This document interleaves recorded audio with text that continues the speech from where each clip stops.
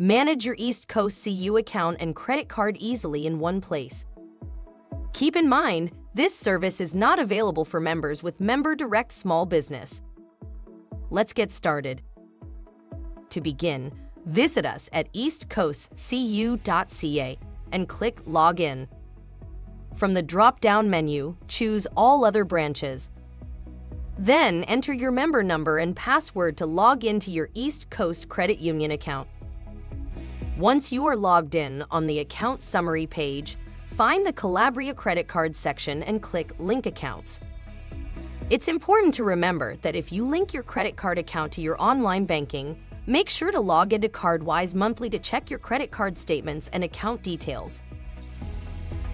Next, click Link a Collabria credit card, and then review the Collabria Financial Services terms and conditions. Click I agree to continue. Enter your 16-digit card number and CVV in the provided fields. Note the CVV is the three-digit number located on the back of your card. Click Link Card when complete. Great job! You can now manage your East Coast CU credit card in your online banking account. To view your credit card details on your phone, download the CardWise mobile app. Thanks for being a member of East Coast Credit Union.